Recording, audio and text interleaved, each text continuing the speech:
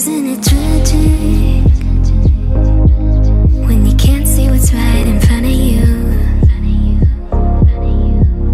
I'm a hopeless romantic.